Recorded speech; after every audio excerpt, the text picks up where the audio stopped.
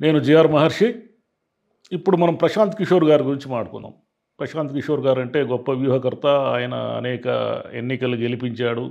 గతంలో మోదీ గారికి పనిచేశాడు జగన్ గారికి పనిచేశాడు. ఇక్కడ కేసీఆర్ గారికి పనిచేస్తూ మధ్యలో ఏదో వదిలేసి వెళ్ళాడు. మళ్ళీ బీహార్లో రాజకీయ పార్టీ అన్నాడు. ఇప్పుడు ఐపాక్ నాకు ఏం సంబంధం లేదన్నాడు.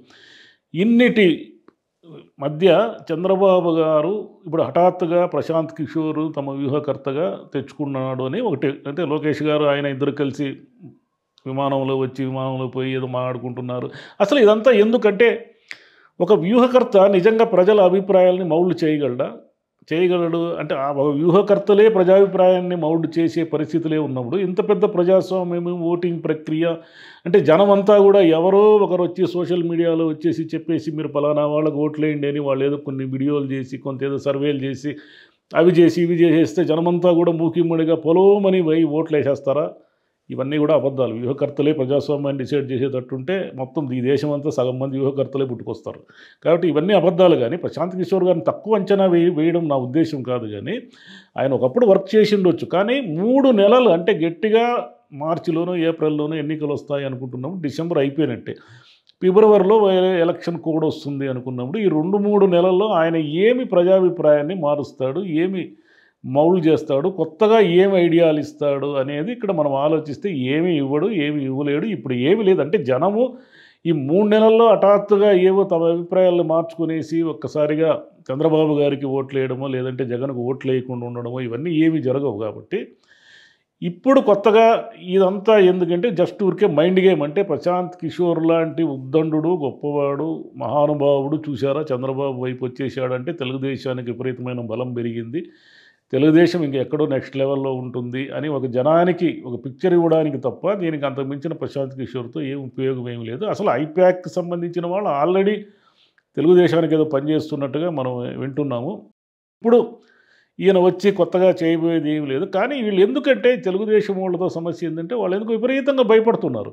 అంటే ఈసారి మళ్ళీ మనం ఓడిపోయినామంటే మన పరిస్థితి ఘోరంగా ఉంటుంది మన పరిస్థితి దారుణంగా ఉంటుంది అనే భయం ఏదో చంద్రబాబు గట్టిగా పట్టుకున్నట్టుంది. మామూలుగానే ఇంత ముందు కూడా ఆయన ఏదో పొత్తులు లేకుండా వెళ్ళడు పోటీకి. కానీ ఈసారి కూడా పొత్తుల్లో ఏమిటంటే జన జన ఇప్పుడు జనసేనతో ఆయన పొత్తు పెట్టుకుంటున్నాడు పవన్ కళ్యాణ్ ముందే డిసైడ్ చేసి తానే డిక్లేర్ చేసేసి వీళ్ళని పూర్తిగా ఇరికించేసినాడు. ఇప్పుడు జనసేనతో పొత్తు లేకుండా తెలుగుదేశం పోయే పరిస్థితే లేదు. జనసేన వా- పవన్ కళ్యాణ్ ఏం చేస్తాడంటే ఒక నలభై సీట్లు అడుగుతాడు ఆయన. నలభై సీట్లు అడిగితే దాంట్లో వీళ్ళు ఎన్ని ఇస్తారో ఏమి ఇస్తారో తెలియదు దీంతో లేని తలకాయ నొప్పి అంతా తెచ్చి పెట్టుకున్నారనమాట ఎందుకంటే పవన్ కళ్యాణ్ ఎక్కడ ఏ ఏ ఏ సీటు గెలవకుండా తెలంగాణలో మొన్న అన్ని చోట్ల దాదాపుగా డిపాజిట్లు కోల్పోయి కుప్ప కూకట్పల్లి మినహాయిస్తే ఇప్పుడు ఆయన వచ్చి ముప్పై నలభై సీట్లు పోటీ చేస్తారంటే ఒకవేళ ఏదో ఒక నలభై సీట్లు అడిగితే ముప్పై సీట్ల దగ్గర బేరం తెగింది అనుకుందాము.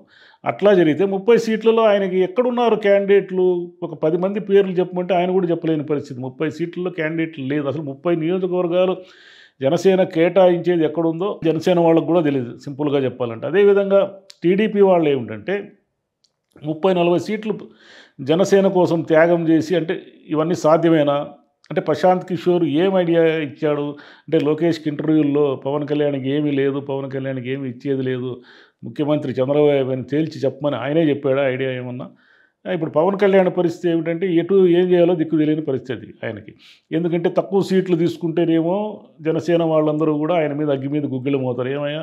పార్టీని వాళ్ళ కోసం పనిచేయించేదానికి మమ్మల్ని అందరిని ఎందుకు ఇన్వాల్వ్ చేసినావు? జనసేన అంతా ఎందుకు ఇన్వాల్వ్ చేసినా ఇప్పుడు మా పరిస్థితి ఏమని పోనీ ఎక్కువ సీట్లు అడుగుదామంటే ఆడ తెలుగుదేశం వాళ్ళు ఇవ్వరు. ఇప్పుడు ప్రశాంత్ కిషోర్ గారితో ఆల్రెడీ ఆయన మీద ఒక ఇది ఉంది. ఏమిటంటే ఆయన చెప్పినట్లు వినాల్సిందే ఆయన చెప్పినట్లు వినకపోతే ఆయన అలుగుతాడు కోపగిస్తాడు ఆ, విభేదిస్తాడు అని అందుకనే తెలంగాణలో కేసీఆర్ గారితో ఆయనకు పొసగలేదు. కేసీఆర్ కూడా అమ్మ ఈయనతో మనం వేయగలేము ఈయన చెప్పినట్టుగా యాజ్ ఇంప్లిమెంట్ చేయాలంటే ప్రాక్టికల్గా సాధ్యం కాదని వాళ్ళిద్దరూ అక్కడ వివేదించినారు అనేది మనకు ఉంది ఇప్పుడు చంద్రబాబు గారు ఆల్రెడీ ఏదో ఆయన మైండ్లో ఏ సీట్లలో ఎవరు ఏమిటి ఆయన సర్వేలు నివేదికలు ఏవో ఉంటాయి కదా ఆయన ఆయన మైండ్లో.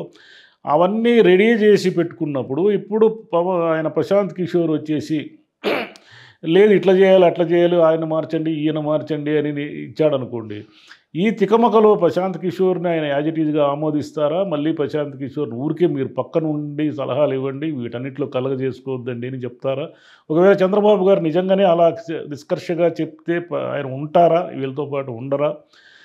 ఎందుకంటే ఆయన ఏదో రాజకీయ పార్టీ పెట్టి అది పెట్టి ఇది పెట్టి ఫ్లాప్ అయినాడు. ఆల్రెడీ ఎందు ఎవరికైనా ఒక టైం ఉంటుంది. పోయినసారి జగన్ గారికి ఓటు వేయాలని జనం డిసైడ్ అయిపోయారు కాబట్టి ప్రశాంత్ కిషోర్ అయిపోయాక పనిచేసినా పని చేయకపోయినా కూడా ఎంతో కొంత ఆయనకు ఆ- సీట్లు వచ్చిండేటివి కాకపోతే ప్రశాంత్ కిషోర్ ఒక కెటలిస్ట్గా పనిచేయడం వల్ల బహుశా వైసీపీకి కొంత ఉపయోగం జరిగిందేమో తెలియదు. అయితే వైసీపీ ఎప్పటి నుంచి ఐపాక్ ప్రశాంత్ కిషోర్ సేవలు తీసుకుందంటే ఎన్నికలకు పోదామని సిద్ధపడడానికంటే ఏడాది రెండేళ్ళ ముందు నుంచి వర్క్ జరుగుతూ ఉండింది. ఇప్పుడేమో హఠాత్తుగా వీళ్ళు వచ్చి ఇప్పుడు మేము ప్రశాంత్ కిషోర్ ఉంది అంటే వైసీపీ వాళ్ళకు సంబంధించి మా మనోబలాన్ని దెబ్బతీసే వ్యూహంలో ఇది ఒక భాగం. అంటే ప్రశాంత్ కిషోర్ మా వైపు వచ్చేసాడు కాబట్టి ఇక మీ పని అయిపోయింది అని చెప్పడం కోసమే తీసుకున్నట్టున్నారు తప్ప ఈ ప్రశాంత్ కిషోర్తో ఒరిగేదైతే ఏమీ లేదు. Thank you.